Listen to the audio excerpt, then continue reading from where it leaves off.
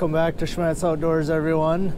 Um, just kind of getting ready to go for the morning. It is chilly out here. Uh, it's went down two degrees even in the hour I've been up, or last 45 minutes I've been up. Uh, it's 15 degrees out here right now. I think it's supposed to cool off another degree or two here, kind of as the sun rises.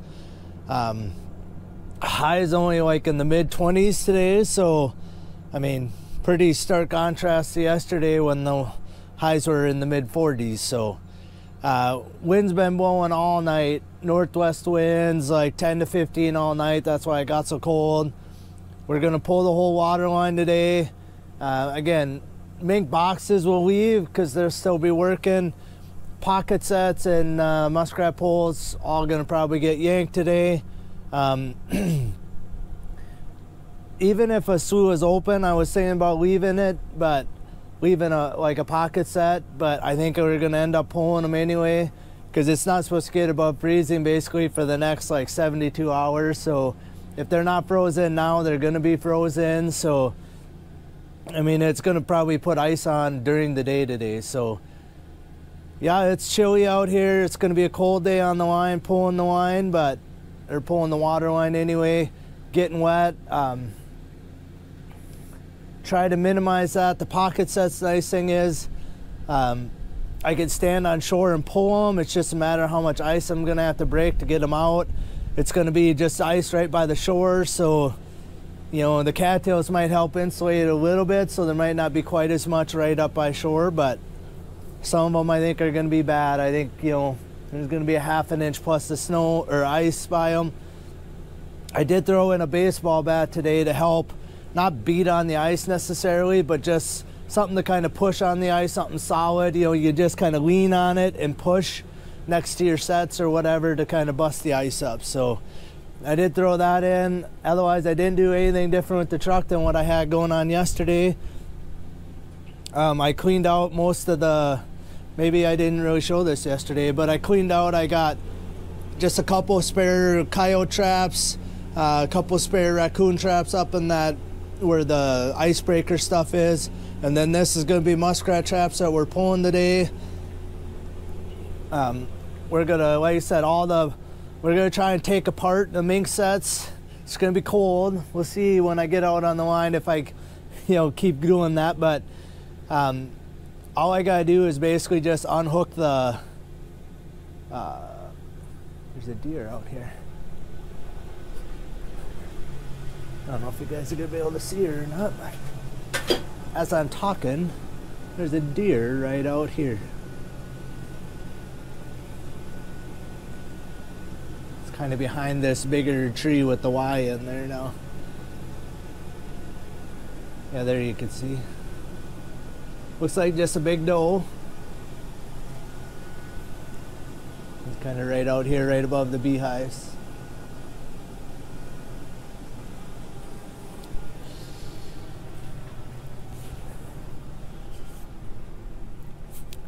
Imagine me talking has probably spooked her. I, I did look a couple times this morning to see if there's anything out on the food plot out here, but um, but yeah, we're gonna try and take the mink sets apart, uh, take the traps off the drowning cables, take the plates off the drowning cables for sure. 100% I'm gonna be doing that, um, and then try and coil the uh, drowning cables up a little bit just so they're not all tangled together in one big blob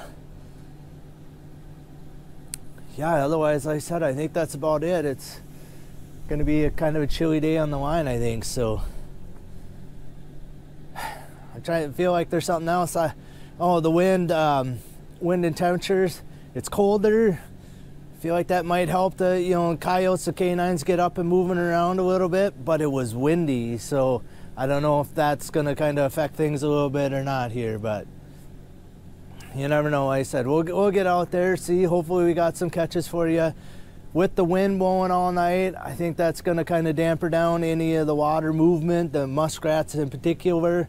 So I don't expect really to have any muskrat catches, but you know, unless say I got got caught, you know, yesterday afternoon, just going into the evening before stuff froze up. So I don't know. So hopefully, like I said, the water line's been kind of carrying my line here lately. So let's see. Hopefully, we got something caught for you. Let's get out on the line. All right, guys. So we're uh, making it through the line. I got two of my mink sets uh, pulled. There's a decent amount of ice. Uh, it's not been as bad as I've thought until I got to this slough. So I had some uh, pole sets down this way and I got my mink box and stuff set by the culvert over here and we'll show you that. But the sets down this way, the ice had blown in here hard enough, it actually tipped over my uh, 110 completely over. So my pole is completely under the ice. There's like an inch of ice or so. And then the other one, uh, my foothold pole was leaning like that. And I had actually put like a toilet set down there.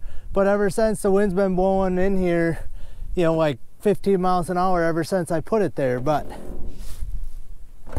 I do have a catch. We're not skunked. And I did catch a shrew in a weasel box on our land there, and I didn't film it for you guys. And then once I got back in the truck, I'm like, oh, you idiot, that might have been my only catch. But that's not true. So my mink box here is actually set off.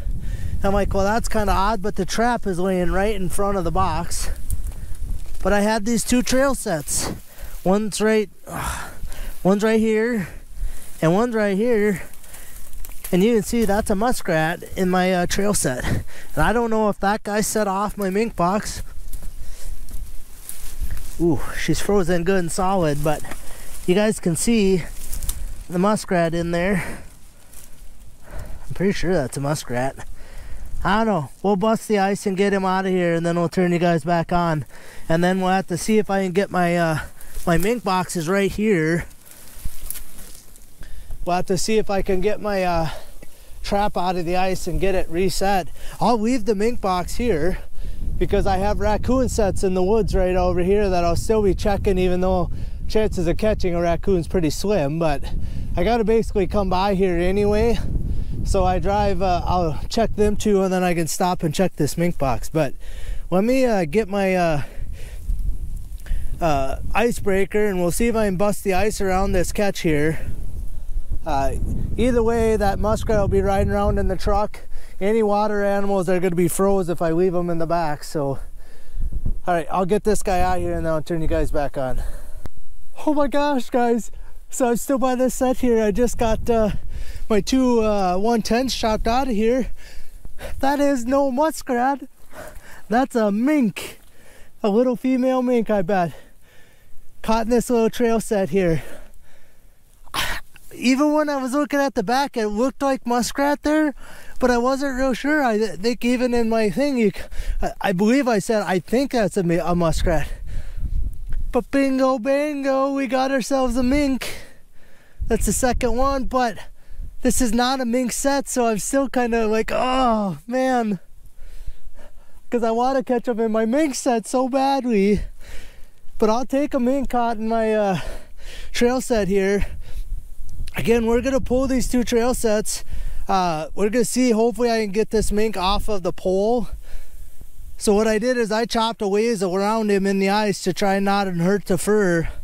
Um, wish I had something to stick him in we'll figure out something here so I ain't getting all the wet in my truck here. But anyway, we got ourselves a mink. I don't know if you guys could see him that well, but little female mink the way it looks. I mean, I'm just guessing female just by the size. It's not not a very big mink.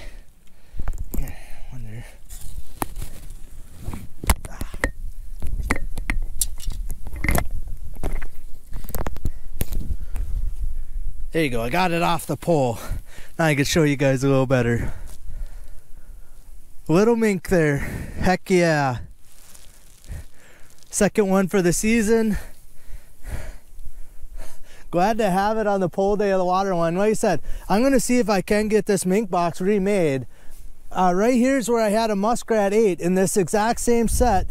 The muskrat was chewed on and then I stuck him inside my box here and this trap is set off so i'm wondering if that mink wasn't here set off my mink box and then got caught in that trail set there but we're gonna try and get that mink box remade heck yeah we got ourselves a mink what what saved a few muskrats lives that's for sure I said I don't want to be moving him around too much because this ice is pulling on his fur so All right. We'll see if I can get that one reset. And we'll get this mink and everything in the truck and give him a free ride home. Heck yeah. I thought it was a muskrat. Like I said, just looking at the back, I thought it was just kind of a gray colored muskrat. You know, and the size of what I could see there looks like muskrats. So as soon as I pull out of the water, I'm like, oh, I can't believe I, I should have had you guys after I got him chopped loose. I should have turned you guys back on, but I thought, oh, it's just a muskrat. We'll get him out and then I'll show you. But yeah, got myself a mink. All right, like I said, we'll get that set remade if I can, and then we'll get the heck out of here because I'm cold. It's chilly out here and that wind is raw. Let's see if I can find uh, something to stick them in. What I did, and I think I'm gonna dump them out. I'm not taking the traps off of the drowning cables. I was just throwing them in this pail. But I think we're gonna dump these out and throw that mink in there just so if that ice and stuff all melts, which it probably will in my truck, it doesn't uh, make a big wet spot in my truck. So I guess that's a good problem to have. Yeah, got me a catch, got me a mink. All right, I'm getting cold. We'll get everything uh, situated here and we'll get on our way. I'm cold. Well, I'm a little chilled now. It took me a, a bit to get that mink set chopped out and get it reset. I had a hard time getting it it back in my box and I, I don't know, just a struggle, but mink box is reset. I had one coyote set set off, deer stepped in it, got that remade. What I have is a chunk of grass on this side of the road and this little ditch that essentially runs to a bigger slough down there. Got a weasel box here. I could see my trap was set off. And bam, we got ourselves a mouse. So there's already one in the back. Guy probably should be keeping these for bait for something, but we'll get that little guy out of there. So that's a shrew and a mouse now in my weasel boxes this morning. So fortunately, a shrew and a mouse, you know, don't uh, help out in the fur shed at all. But we'll get this guy out of there and get moved on. I'm chilled. I got to be in the truck and warm up a little bit now. Luckily, we don't have a lot of water sets just right away here, so a few coyote sets to check so I can warm up a bit. All right, everyone. Well, did not expect this, but glad to have it. Uh, got another catch here. We're gonna get out and show you what's going on here. Um, I'm right out in the wide open here. I mean, it's wide open field as far as you can see, except for over here on this side. Hopefully my truck is gonna block a little of the wind. Of course, I didn't park real close and I don't wanna be right next to it anyway. So uh, what we got here, this is a little chunk of CRP grass. It's like a 100 yard square right on the corner of two roads here. And because of that, I have my sets on slide chains. I made, I used to have cables. I had eighth inch cables and that worked very well.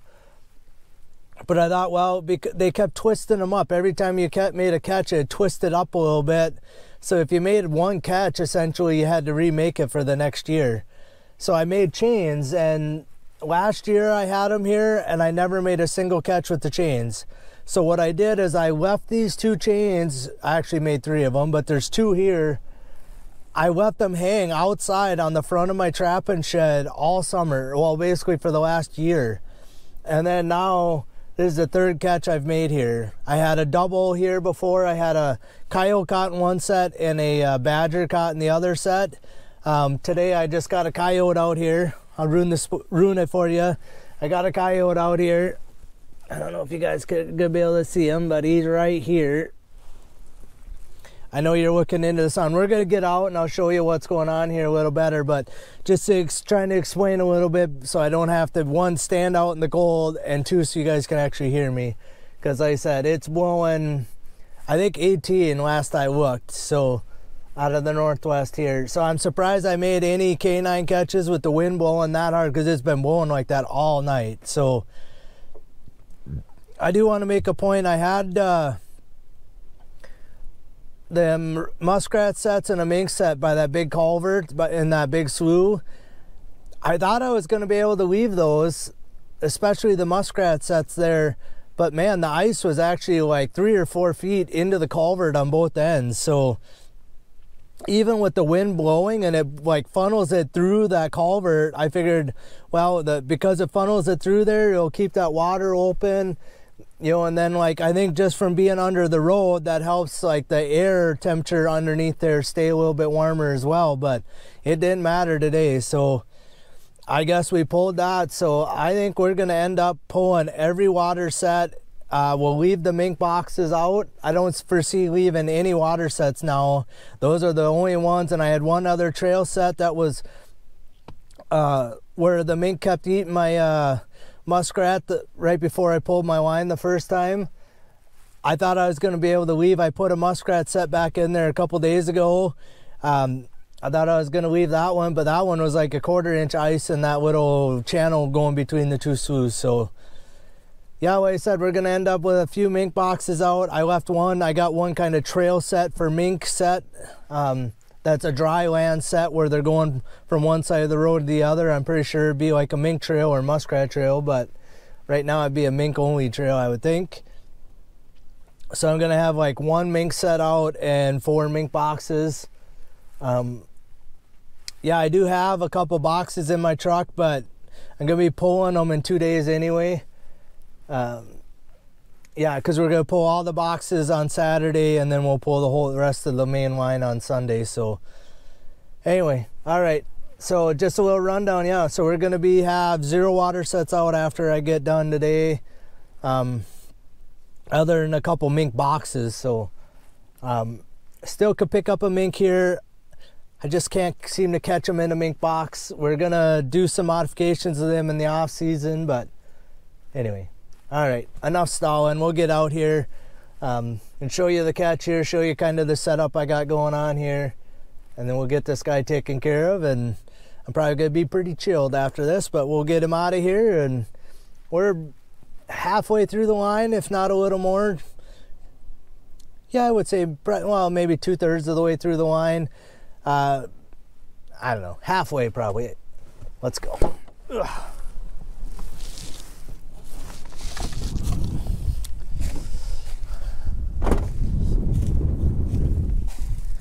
All right, again, so what we got is just this little square CRP on the corner this guy's land here. There's a gravel road literally right there and one right over here. So what I have is, I have two sets here. I had one dirt, a dirt hole right here. And then I actually just got a flat set right here baited with gusto and uh, castor. And then this chain here runs out at an angle and what I do is I just have this post right next to my chain here. You can see the chain is right there. So if an animal goes by, they just bump this, it's gonna lean it over. Um, and I could see this one was leaning a little yesterday, but I could tell there was no catch here, but I couldn't see the second post today. And I'm not even sure where it is here.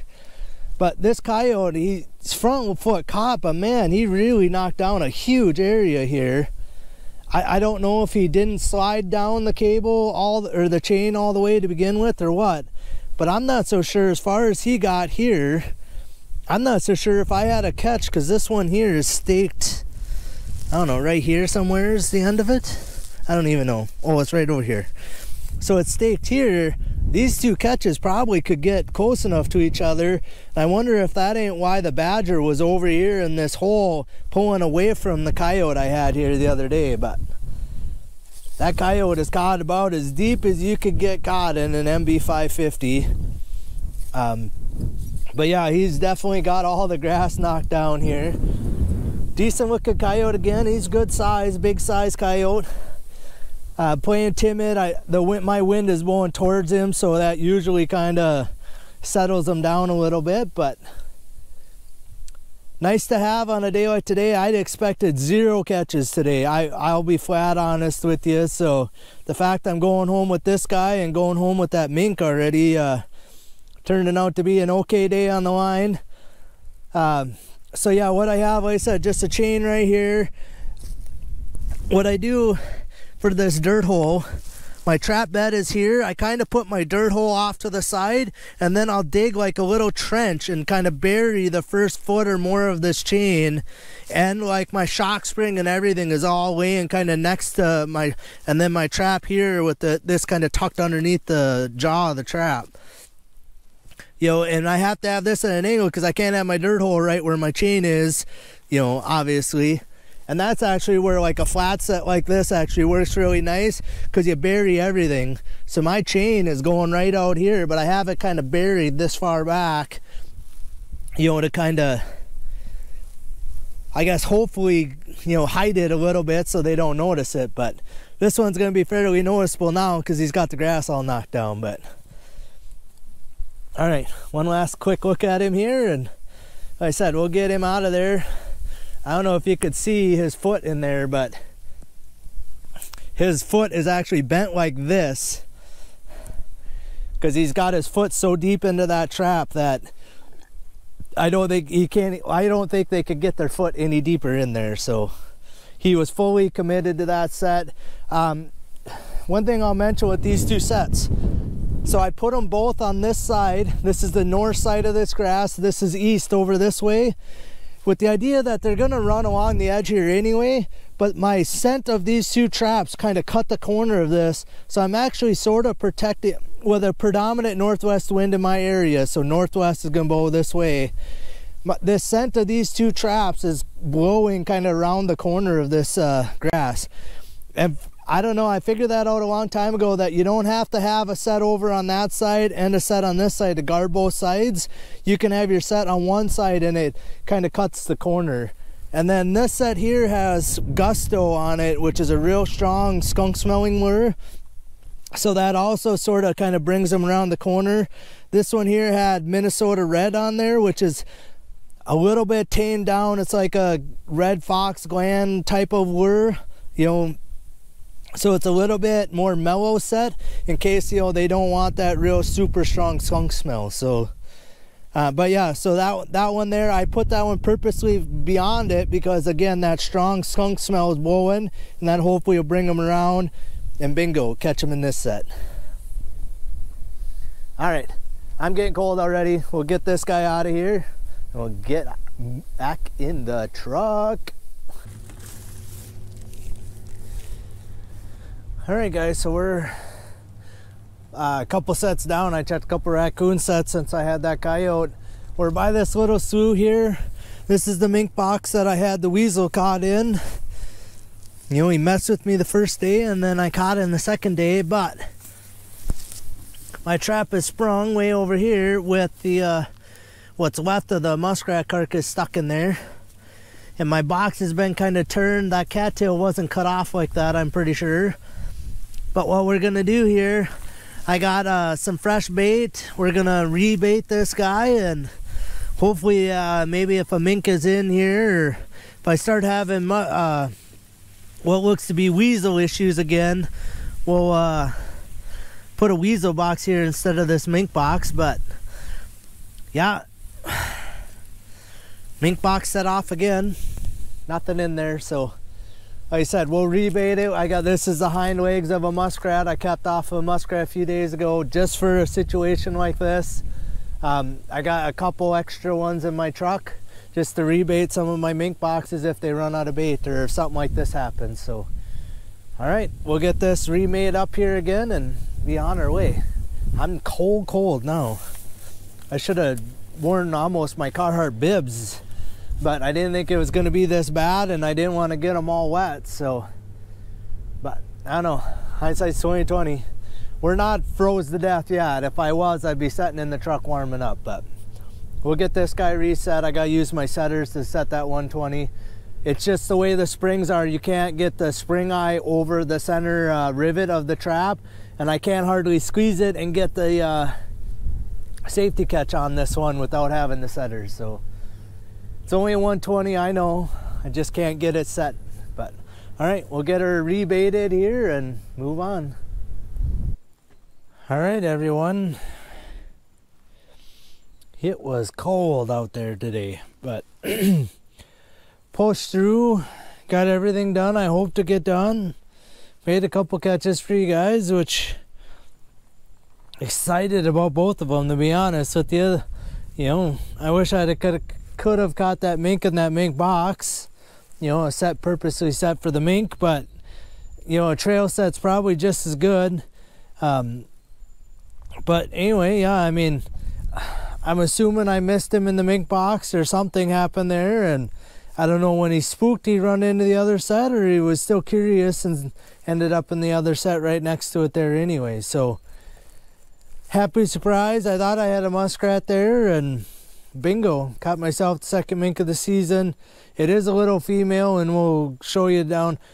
I got him hanging in the basement here. We're just gonna go over the truck a little bit here. Uh, and then we're gonna go down in the basement. Um, so I did some cleaning already. So I took my waders out of the inside of here. Uh, my raincoat was still in here. I didn't need that in there. All the muskrat, mink um, lures that I use, you know, like I have, I never used any of the mink lure. I wanted to kind of give my pocket sets a true test of just bait you know, and I don't know, like next year, most likely when I'm putting these sets out, I'll probably dab a little bit of lure on there. The only thing I do need to watch, one of my sets, the pocket sets, my bait was actually completely cleaned out of my pipe. So I'm assuming it had to be a weasel right there. Um, I know where it is. I, I could move one of my boxes there, but I'm not going to. Uh, but yeah, I was a little surprised by that. Most of them still have all the baits frozen in there. I can't get the bait out of them, but so I just got all the pockets, portable pockets stacked up here, all the plates piled in a pile here. I'm sure they might even be froze together. And then I did not take the traps off of the cables while I was out on the line. So I made a uh, pile of them in here only because I was going to throw them in that bucket, but I ended up using the bucket for my mink because I didn't want to just throw him in, and I'm glad I didn't because there's quite a bit of water in that pail. So I'll gladly untangle that mess because I got that mink in there to take care of. So uh, yeah, so all of this stuff, most of these poles are all going to get taken out of there, all the top ones, and then all these longer ones. All these, I'll maybe leave a few of those in there. I don't know really what for at this point, but we're going to leave a few. Um, so yeah, portable pockets, all the plates. Right here's all the muskrat sets. These are the bait clips for them. Kind of up here in the front, I threw some of the the clips I use for some of the 110s are kind of they're all in the front up in here underneath tangled and all this stuff. So before I move my truck I'm gonna actually go through and take all the traps off of the cables and get the cables wound up. It's just gonna be a little bit uh, a little bit easier to store. It's not terribly windy right here in the yard. I mean you can see the trees are moving up here but it's not bad in the yard compared to what it was on the line. So it's just it's to take me 10 minutes and I'll have them all cleaned up here. You know, we're taken care of. Uh, this guy I can take out of here. I didn't even use it. The ice was too thick on most of the set, so I ended up using my pull bar because my pull bar is kind of set up like an ice chisel as well. So I used the pull bar to chop the ice around them. Some of them like it was better than an inch of ice. I literally stood on the one and it didn't break through the ice until I kind of bounced just a little and then it kind of cracked and then I moved and then I used my foot just kind of stomp the ice out of the way. But that was one of the first ones and then after that I just used this to chop the ice. So way easier than trying hammering it. So the baseball bat, my wood icebreaker here, who's in pretty sad shape. We're gonna have to upgrade him, do something different, but you can see it cracked my board. You know, and I wired it somewhat back together, but it's froze together right now. But this should be sticking straight, so it should be like straight up this way.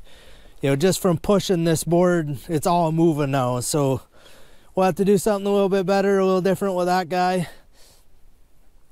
I have it uh, marked down as one of the projects for the off season. It definitely don't have to be right now. So yeah, all of this stuff, this tote, that bag, all that stuff. These are all drowning rigs here. Um, I have an extra one for a portable pocket, and those are all like beaver ones, you know, with bigger slide. You know, they got the bigger slides on there than what this one has. I figured for mink, I don't need a huge, uh, the bigger size. So I made a bunch of these ones just for mink trap, and they have smaller uh, sliders on them. So those can come out of here.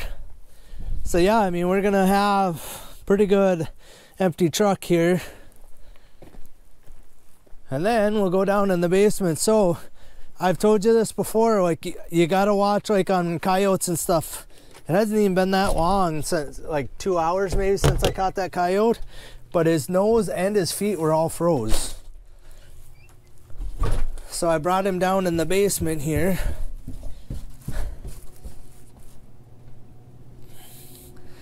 So I don't know, like here, like his foot is froze. Oh, it moves just a little but his nose was froze rock hard. It still froze rock hard.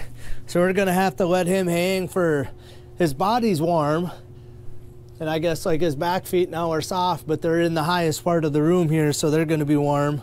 And the furnace is running. So uh long as we're here, nice looking coyote. Pretty well furred again, you know, nice as the one yesterday. Got a couple burrs right here in the neck, but otherwise pretty clean. Um, we're gonna get him skinned. I don't know if we're gonna flesh tonight or not. It is Thanksgiving Day today, so guy may just take a break. But because I did a bunch of work yesterday anyway. But yeah, so we got one nice coyote. I kind of I didn't say it before we went out on the line, but I was surprised. I, I should have said that I'd have been surprised if we made any catches today waterline or the landline. to be honest with the, the way the winds 15 plus mile an hour winds all night is not conducive to making catches on your trap line, period. Um, whether it's warm wind, cold winds, it, it, just is not conducive to making catches on the line. So the fact I made any catches today is kind of a surprise, but I, will take it. And I got a nice coyote to go with it. He's not robbed anything. Again, he's probably about as prime as he's to get as prime as she's to get. So that's the third female I've got in a row now. Um, I've got 11 males caught and four females now for 15 total. So yeah, kind of. I mentioned this before. I think I'm pretty sure I mentioned on one of these videos that I seem like I catch a lot of males early in the season, and then towards the end I switch and I start catching females. And I don't know, like now that it cools off or is going to get cold and stay cold, if all of the animals start moving around a little more or if the males are a little more solitary to begin with, you know, especially like pups and that type of stuff. Uh, if like the female pups stay with the main, you know, the dominant female or the mother, and the males go move around, I just I don't know what really causes that. Uh, if you guys know that or have noticed it on your line, uh, comment down below. I'd like to kind of hear what you guys think about that, but kind of interesting thing that happens. It happens every year, and this year it's been actually a little more lopsided than normal. I was at uh, 11 males to two females there, and now, now I'm up to four females. So, uh, yeah. And then, sort of the trophy of the day, he's still got some serious ice on him. I don't want to try and too much force because it's pulling on the hair in there. I'll turn him this way it, you know, it's really caught in his hair there. So I don't want to like get too aggressive trying to peel that ice off of there and pull hair out. And then he's froze into the trap up here. Oh, that paste is broke finally. This was froze into the trap, so I couldn't even got him out of the trap, I don't think. Um, it's a little mink, significantly smaller. Yeah, I would say a female for sure. Um, so yeah, excited to have him. Kind of wish, again, would have caught it in like a dedicated mink set, but I'll take it in a trail set just the same. A mink is a mink. Kind of part of the reason why I really wanted to focus on mink this year is, you know, I like catching muskrats. I really do. They're they're easy to catch. You could catch a pile of them in a day if you really don't get frozen, but it, you could catch a pile of them in a day if you really go at it. You know, if you got good spots. I think there's a lot of them around, so I'm hoping they have a good winter here and uh, good summer next summer. And man, I think we should be able to pile up muskrats next year if we get some open water trapping, which isn't guaranteed. But every mink I catch, I feel like like 25 muskrats that's going to make it in the, you know to next year's season. So in a year from now, is this mink going to kill 25 muskrats? Whether that's adults, um, killing young ones, you know, getting into a hut and killing the young ones in the spring or whenever they have young ones, or actually killing, you know, all summer long, you know, killing muskrats, catching them or whatever. You know, and this little one maybe not as much, but right here is this big one. So that it was a big male and he is past the 2x line on the board in length. You know, and just I'm gonna try and get him flipped up here. I mean, obviously this one's not stretched, but you know, you look at the size comparison between the two of those. You know, this the one I got today is maybe two thirds the length of what this one is, if that. You know, it's hardly half to be honest, but you know, you go from the nose to the base of the tail there, it's hardly half. And that, get, don't get me wrong, this is a giant mink. Like I said, he's well past the 2XL line, and I did not stretch him. He's literally just, he was loose on that board, and he's still not really even sucked down tight on there. He's probably about ready to come off. I'll probably take him off tomorrow. This is a skunk, the last skunk I caught. I fleshed him the other night, the same night I fleshed, uh, I got two badgers. This is the last one I caught. It's quite a bit nicer furred than this one here. They look a little rough, but they'll fluff up when I uh, take them off the board. This is this one here. I had I left a little bit longer, and man, I should have just turned it when I turned that one.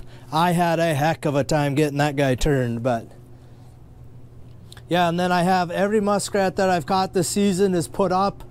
Um, you know, or the ones that weren't tore up or you know, chewed up by mink. So everything from right here this way, I'm going to take off the stretchers today. These were the last three. Uh, this was the last one I caught, and then those two were the day before. I'm going to leave those probably one more day. Again, with this mink and this guy. Over here, I got a couple beavers. Uh, they were spring caught beaver. No, this, yeah, spring caught beaver these two and I got one more fleshed outside. So I'll give this guy maybe, actually he's probably real close. I probably could put the one on the other side of this board now. If I if they're too soft and you flip them over, they will make a big bubble like that and they won't dry right. So I probably, again, maybe leave that guy one more day and then I'll flip him and put the be another beaver on the opposite side of this guy and leave the other the new one on the top again so he dries nice and flat. Um, yeah, so a couple beaver, a bunch of muskrats, one skunk, and two badgers is what I got put up so far. You know, and I haven't, I'm purposely not, well, yeah, I'm purposely not putting up a lot of fur right now. Um, I mean, like the last couple days, I put up some fur, uh, the beavers and the badgers, just because I did have a little extra time here. But kind of the idea is, you know, I'm trapping right now. I don't want to be, if you know, obviously, if if I had catches on the line, I'd rather be taking care of the line than down here fleshing stuff right now. And I also don't want to run the line until dark and then be down here for three hours fleshing every night. You know, you just wear yourself out so quickly you know, and I'm wore out right now. That's part of it too, is I'm just, I'm beat up from running the line and from the mule deer trip. So it just, it doesn't do you any good just to keep beating yourself up day after day. You need to take a little break and rest. So like I said, like this coyote, I'd really like to get him fleshed and put up. Um, but I don't know. We'll, we'll see. Again, it is Thanksgiving today, so I, I don't it is a holiday. I don't want to use that as an excuse, but I sort of am going to use that as an excuse for now. So otherwise, yeah, let's kind of go over the next couple days here. So I did leave one mink set in our pasture in the little creek. The creek's moving just enough. I left five muskrat sets and the one mink set down there. Uh, I imagine that like tomorrow I'll probably end up pulling a couple more of the muskrat sets. One was frozen and I couldn't really find a good spot to put it. The bottom is hard in some spots and then it's like muck in the next spot. So I couldn't really find a good spot to put it. So I ended up pulling the one. My mink set was still working good, so uh, I'll leave my mink set as long as I possibly can down there. There was, right where I put it, there was actually mink tracks in the mud right there. So I know a mink has gone through there, you know, fairly recently here. So I'm just kind of hoping maybe he'll come back and we can actually catch another mink. So I'm, I'm ecstatic that I got two caught, to be honest with you. Granted, this guy's not huge but I'll take him, gosh darn it. I mean, that was kind of my goal for the season right there is to catch mink this year. Two isn't a bunch. Some of you guys I know probably put up hundreds of them. I'm not that guy. I don't know crap about trapping mink, so I'm trying to learn here. Um, and I'm just kind of bringing you guys along for the ride. Yeah, so like I said, pretty successful season so far. Like I said, I but uh, next up couple days, today's Thursday. On Saturday, we'll be pulling all the mink boxes and the weasel boxes. And then on Sunday, we'll be pulling the entire line, other than a few right around our, our farm here. I will most likely leave. Um, I can check them with before or after work without having to run the entire line every day because it's taking me like four and a half, five hours to run the whole line right now. It'll be a little less now that I'm not water trapping, but you know, if you tried to work a full-time job and then run that, you know, in the dark essentially is when you'd be checking it. I just, it's not worth it.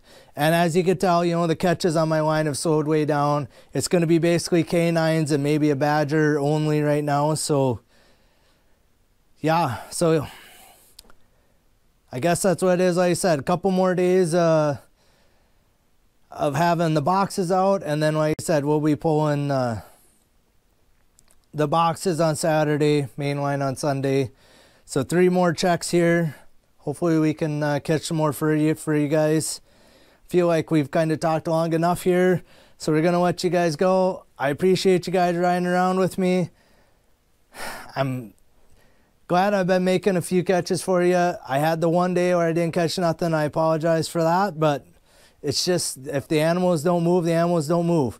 With that said, tonight the wind's supposed to die down. It's you know it's supposed to get cold. It's supposed to be like in the like around 10, 11 degrees for a low tonight.